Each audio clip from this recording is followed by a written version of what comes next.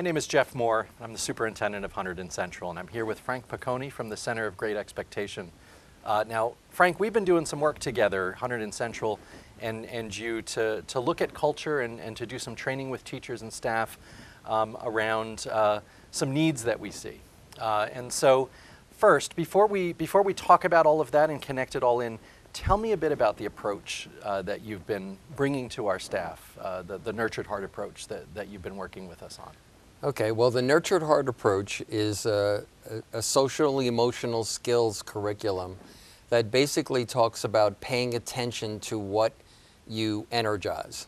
And what I mean by energize is, for example, when a parent uh, or a teacher spends a lot of time talking to uh, their, a, a student or their child about a problem, we're putting the spotlight on the problem. And, it, and what Nurtured Heart says is we need to be giving more of our relationship and more of our time to the things that we want to grow.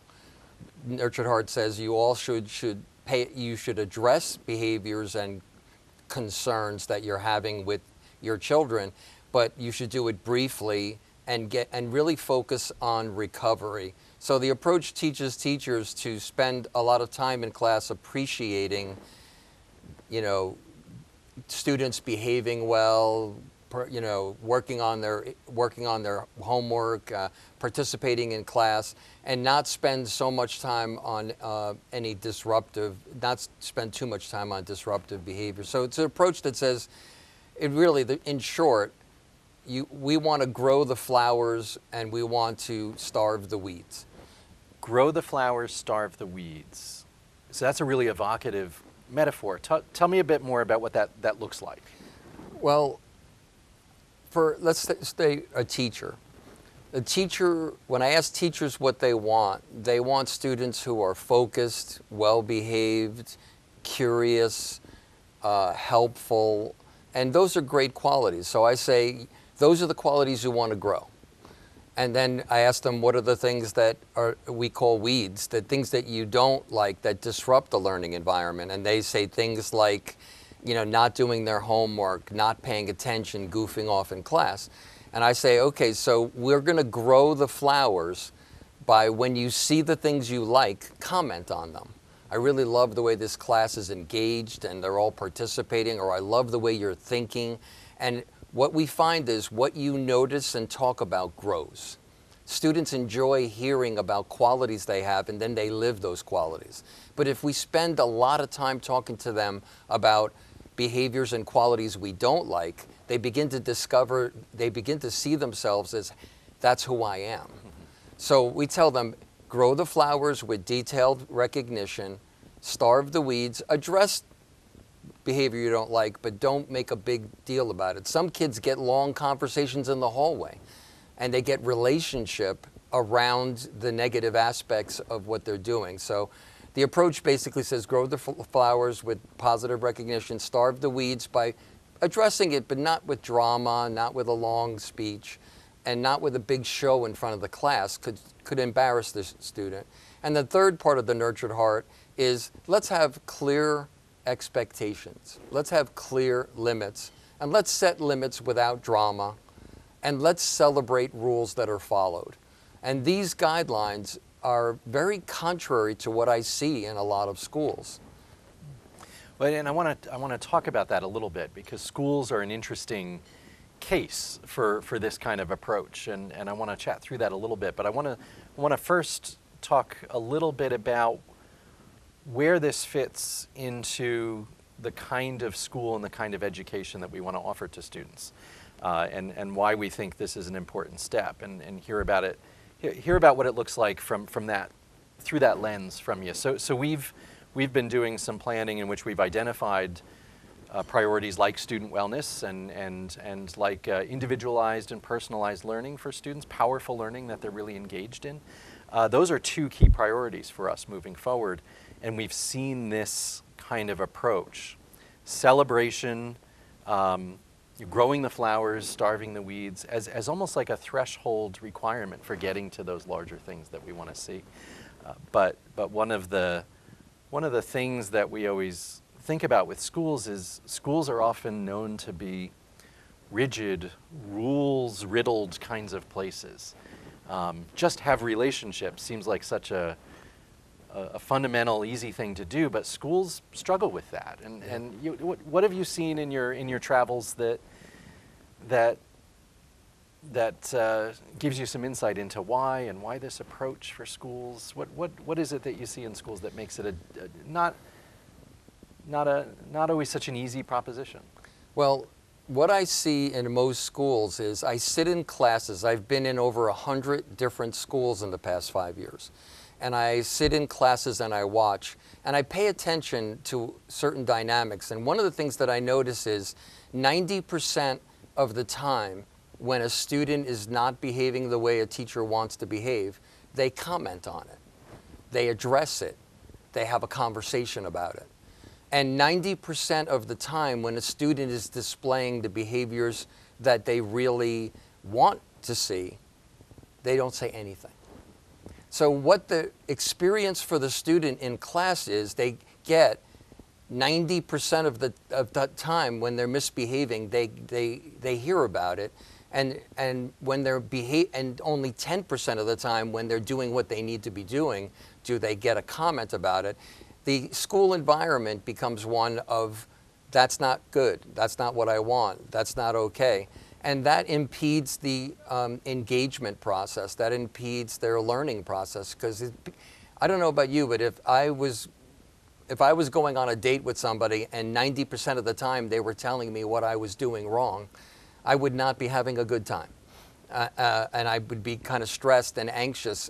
And we don't want our kids stressed and anxious because of what it does to their brain and to their ability to digest the material and grow and learn, which is what schools are all about. Yeah, yeah, and there's there's more to come back to on that point too, where where stress and anxiety fit into this uh, uh constellation of this approach. I, I want to touch on as well. I want to want to come back in there to just a, what what it sounds like you're saying from a really fundamental point of view is that we're talking about kind of the balance of conversation and how much how much we're putting on one side of the scale versus the other, and then ultimately what that can deliver in terms of what a, what a student might learn is is valued in the relationship. Is, right. is that is it that simple? It, it is pretty simple. We learn about who we are by what the world tells us we are. There's a, there's a famous quote that says that, you know, my teacher thought I was brilliant, so I was. And I think that we, we want the best in our children, but we give our heart and we give our relationship and we give our conversation mostly to them when they are upsetting us and not living the values we want them to live. So if we, I think many, I was trained, I, I, I've raised my children before a nurtured heart. When you mess up, I'm going to sit you down. I'm going to have a long conversation with you. I'm going to make sure you don't make this mistake again. But one of the messages my children might have gotten that I didn't intend was if you want connection with dad, if and, and uh, you messing up gets it pretty quickly. And the other message they might get is he keeps talking about how rude I am. I guess I'm rude. Um, and I guess that's a problem, I guess. And, and, and that was not my intent. And I don't think it's parents' intent. We want our children to live out the best qualities that they have we should focus our energy and our relationship on those qualities. So I think in the classroom, it creates a more relaxed environment.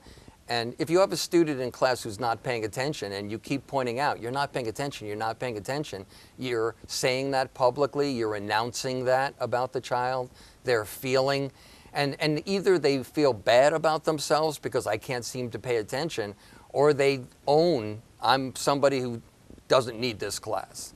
You know, so I just think that the approach has been used all over the country, all over the world, and every time I bring it to teachers, they they really enjoy it and parents enjoy it. It's very simple.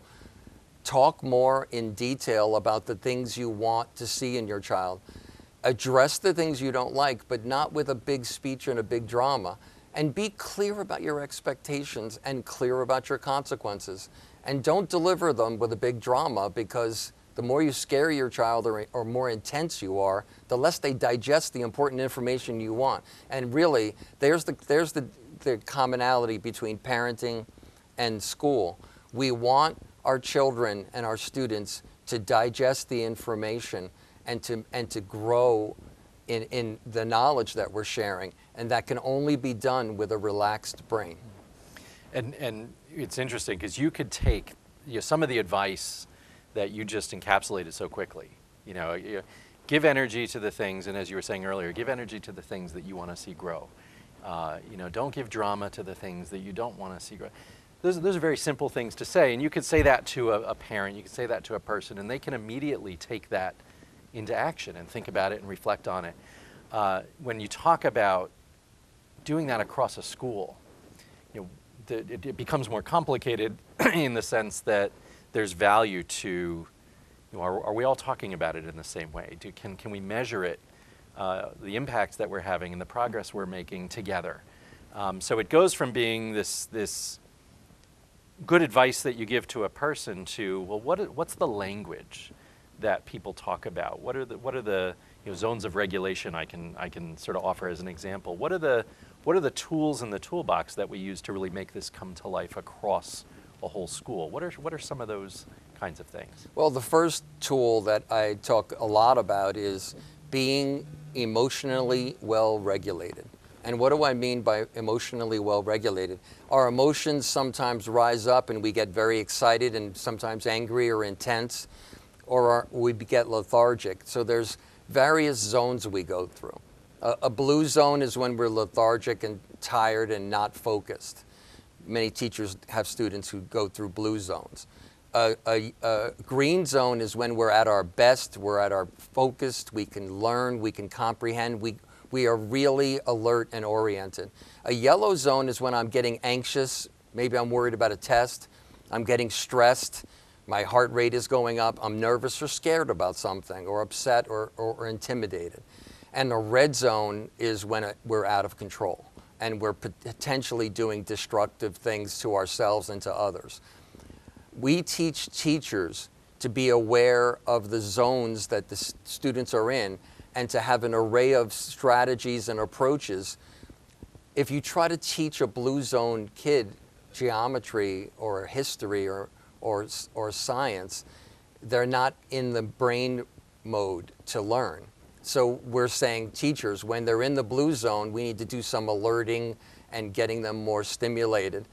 Uh, when they're in the green zone, teach away and and celebrate and and deal with the tough issues because they're at their best brain health at that point. When they're in the yellow zone, be good at de-escalating and get them back to the green zone. And if they're in the red zone, which I ho hopefully doesn't happen too often, but it does sometimes, know your protocols to de-escalate and maintain safety. And so teachers, and then we're also saying to teachers, how are you doing on your regulation?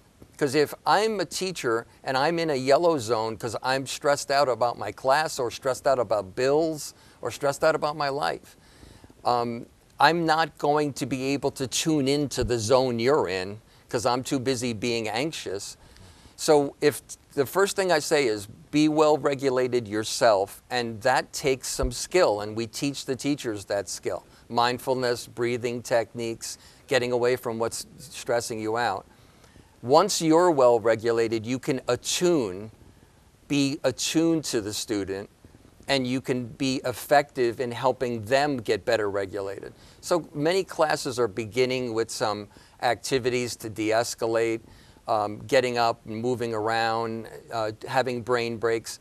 But it's a whole new world when a teacher walks into a class and doesn't just start teaching, because if you have five blue zone kids, you've lost them. If you have seven, yellow zone kids. And we've been asking some of the teachers who've been playing with these concepts, they've gone into the classroom and said, here are the zones, they're very simple. What zone are you in? And teachers have said 70% of their class said yellow zone. And they said, okay, what are, you, what are you anxious about? and then had a discussion before we start giving you information that your brain will not digest in that zone. Frank, what you're talking about is this there's this uh, partnership that goes on then through this through through this uh, model, where everybody has some of the same language to talk about where they are, and I could imagine too where you get to the point where students can self-identify not only where they're where they are, but some of the strategies to kind of come down. But it, it's interesting you talk about, and I've heard from teachers who've gone in and had those conversations as well. Seventy percent, you know, 15 out of 22 students saying they're in the yellow zone and they're stressed out um, about something.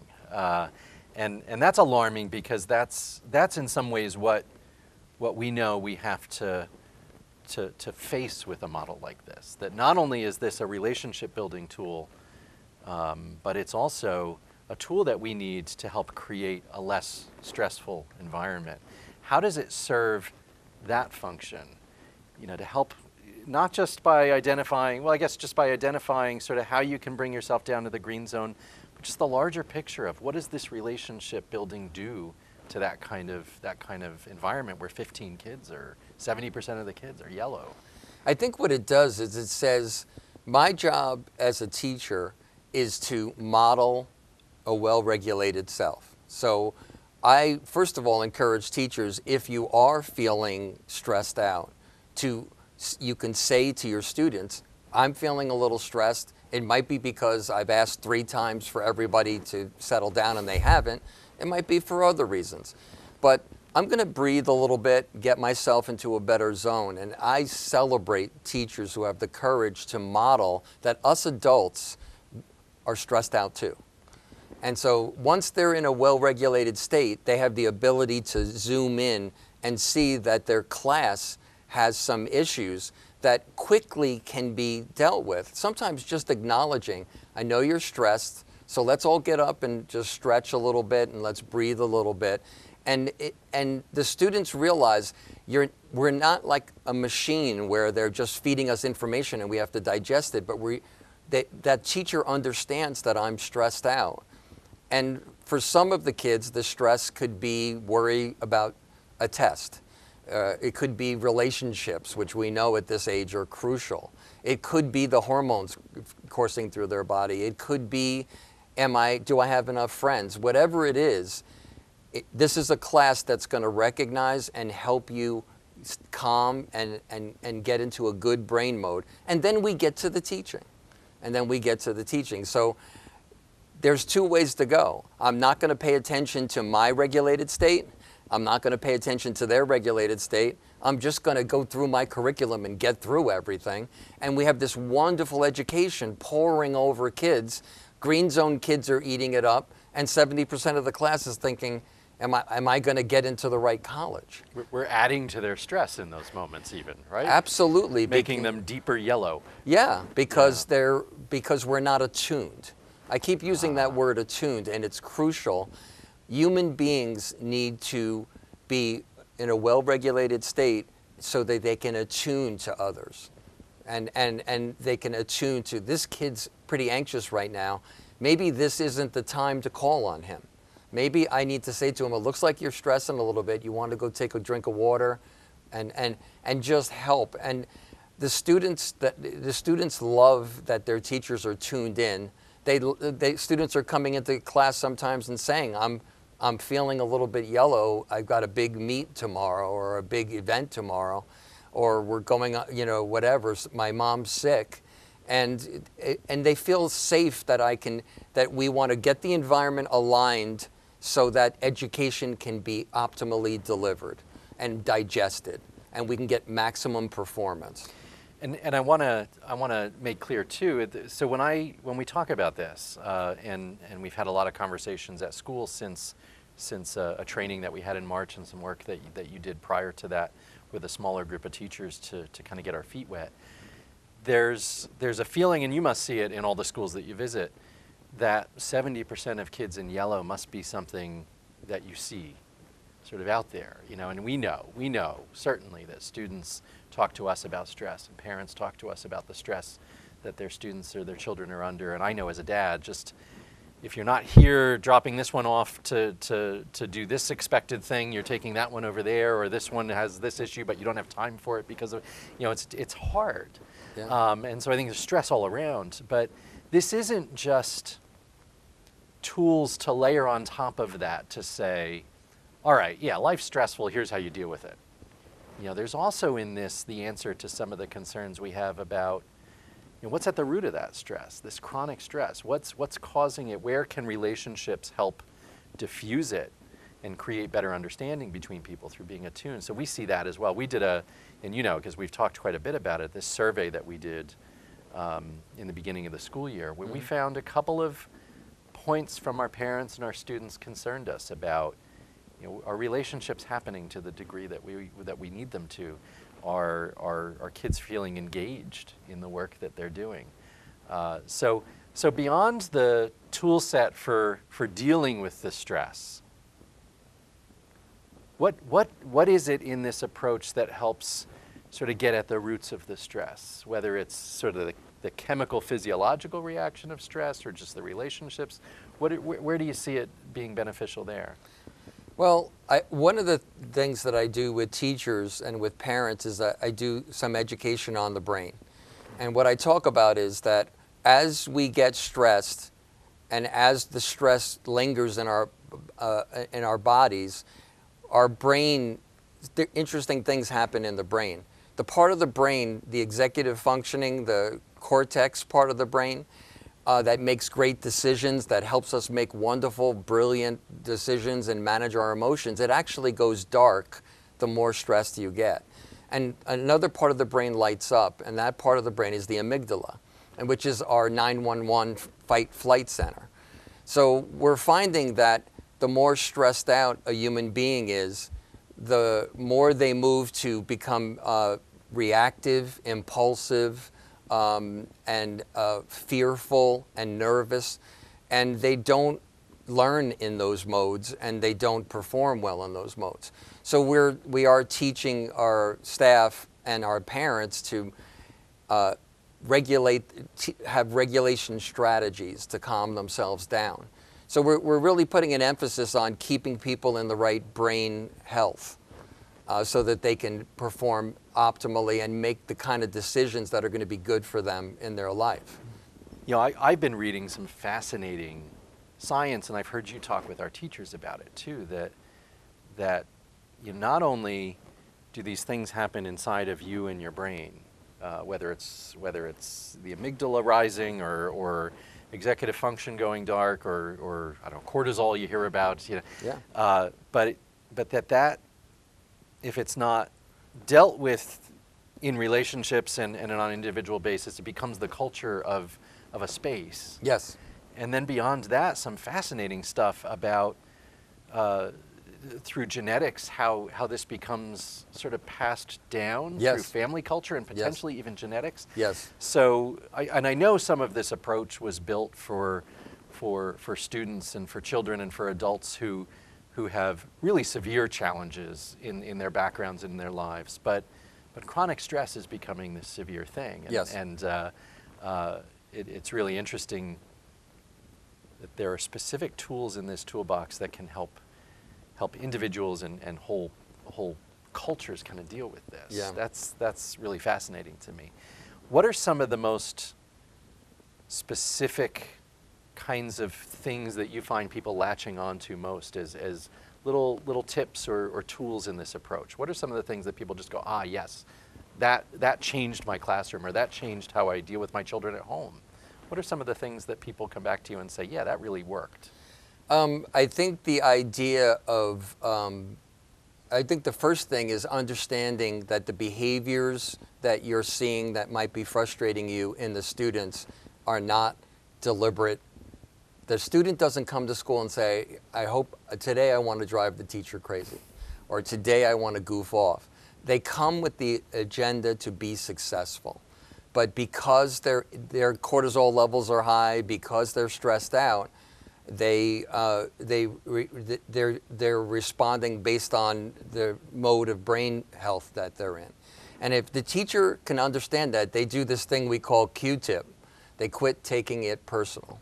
They don't take the behavior personal, so they can stay in a relaxed state. You know, I'll just give you a quick example.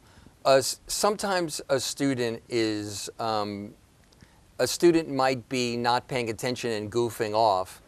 And if the teacher is well regulated and attuned, they might assess that this student is really anxious And their approach would be to come at the student and say, looks like you're struggling with something, what's going on? If that teacher is not attuned and they see that as a personal thing that the kid is doing, they might say, listen, sit down and cut it out, which might escalate the, the student.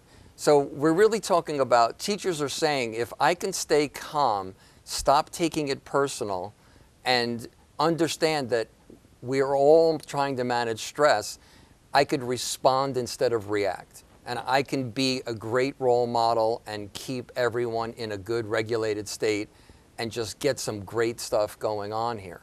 So I just think that um, I, I think that it's important for us to to realize that here's some a realization that came to me in my own life. Every bad decision, every time I've said something hurtful to somebody I love, every time I've regretted a thing I've done in a relationship, it's when I've been in an escalated state. I've never been calm and nasty to people. Um, and I realized that if I can keep myself pretty well regulated, I'm going to have better relationships. I'm going to make better decisions. I'm going to have a better life. I'm not going to keep hurting myself by regretting the actions I did when I was in that escalated state. So I'm not saying we can't get escalated. I'm not saying that we have to be monks and meditate all the time. I'm saying I have personally experienced my life getting better and better the more I pause. And maybe that's a technique that I would mention. Teachers have said to me, Thank you, Frank, for the pause. Pause when a student's pushing your buttons. Before you respond, pause and give yourself a chance to calm down so that you could respond effectively and right the educational environment and get engagement from that student. So pause is powerful. And, and I, yeah, I see that too. You, it, it's in a classroom. You're, you're always teaching. Yes. Every single second you're teaching. When you're correcting behavior in an inelegant way that's just triggering further escalation, you're, you're teaching, you know, everybody else. You're teaching that child, you know, and, uh, and, and in some way you're, you're creating habits in yourself as well that are, that are sort of imprinting on, on how you deal with stress. And, and you're right, you know, the pause, the breath, and I've, ta- I've heard some teachers talk about, you know, not only in that, that moment pausing, taking the breath, calming down, but being um, explicit about it to, to the student. Yes. You know, this, I'm feeling a little, you know, whatever, you know, the conversation to say, this is what I'm doing, this is why I'm doing yeah. that. Uh, and then I come out of that able to react, which teaches, right? Right. And the, the, the thing I've heard about this approach uh, in, in different conversations over the time that we've, we've considered bringing it in, uh, and you addressed it, but I want to tie it into this part of the conversation. We talked about um, you know, students, students acting out and how you can deal with that calmly. What do you say to the person that says, oh, well, this is just a way that lets kids get away with things? There's a third stand in the nurtured heart. The first stand is do not energize negativity or you'll grow it. The second stand is energize everything that you want to grow in your child by giving it detailed recognition.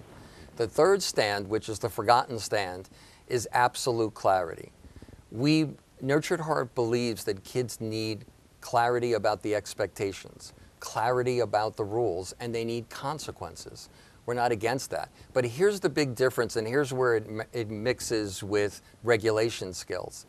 If a student is in the yellow zone or borderline red zone, I am not going to say to them, you're going to get suspended because I'm poking the bear.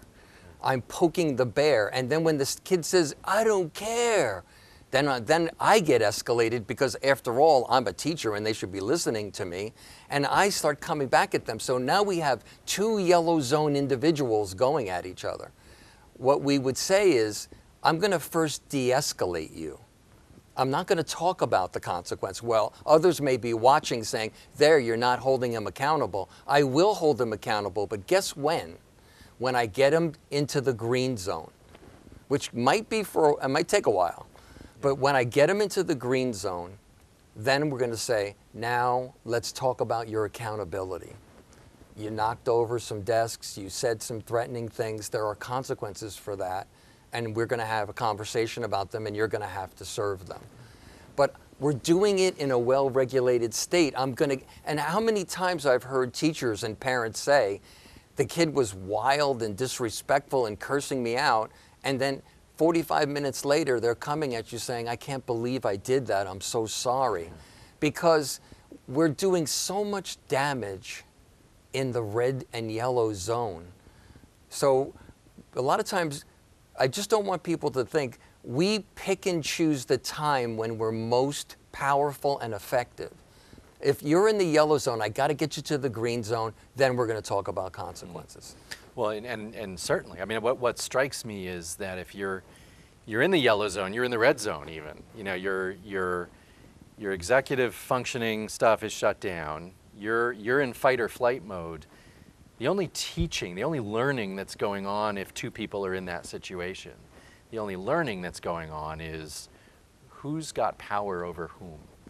You know, who can, who can wield power and, and compel you know, Yeah. behavior, right? Who's going to win and who's, who's, going to win? lose? And and we come down to the green zone together. Then it's about why was that wrong? What did that do to our relationship? Yeah. Where can we repair? How do Yeah. we move forward? What are the consequences Yes. that have to be served?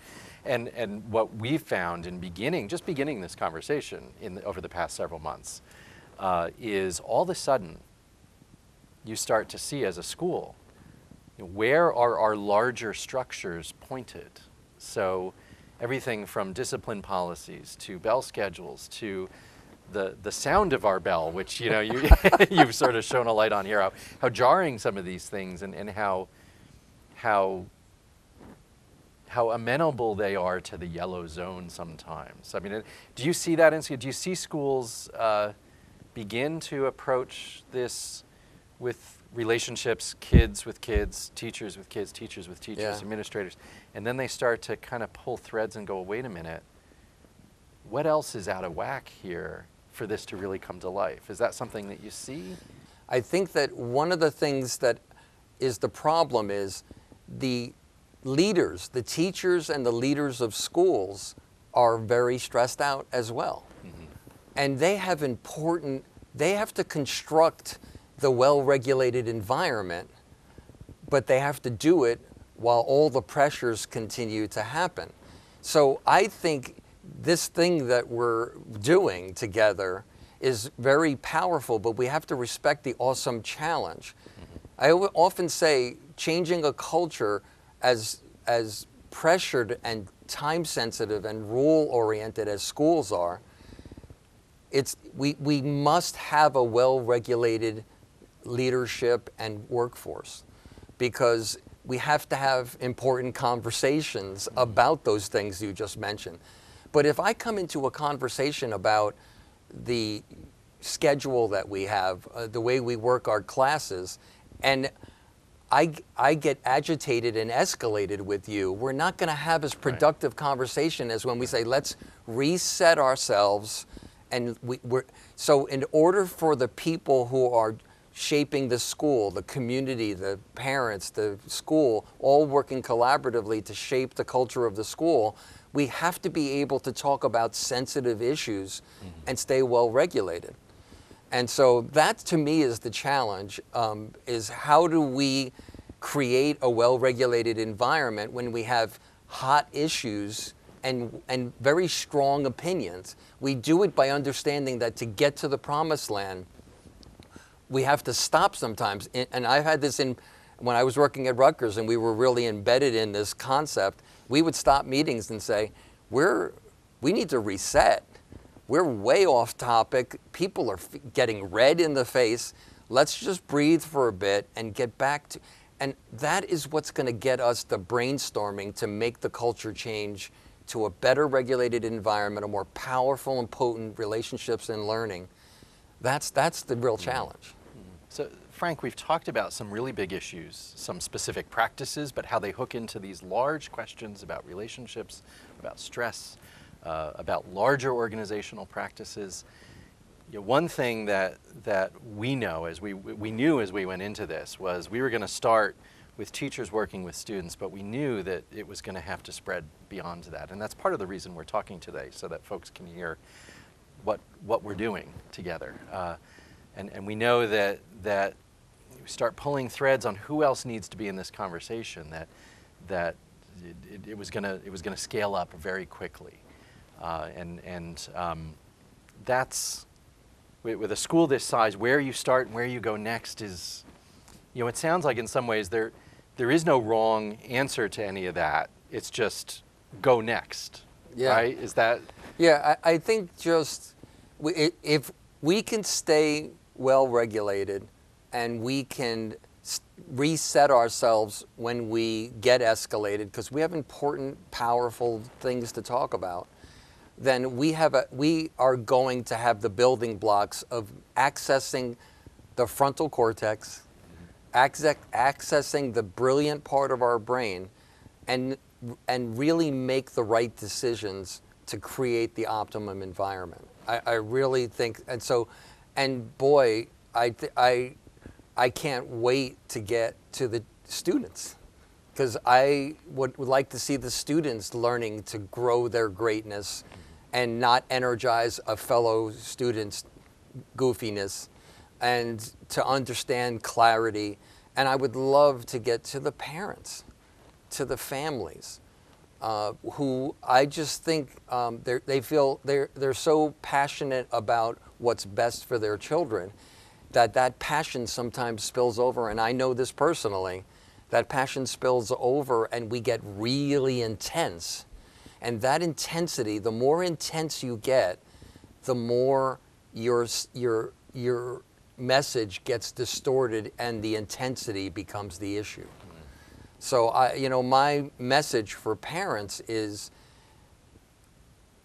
think about the things, the qualities you want to grow in your children and notice them when they're happening and talk to your children about their wonderful work ethics. Talk to your children about their em- emotional intelligence. Talk to them about their passion and their dedication.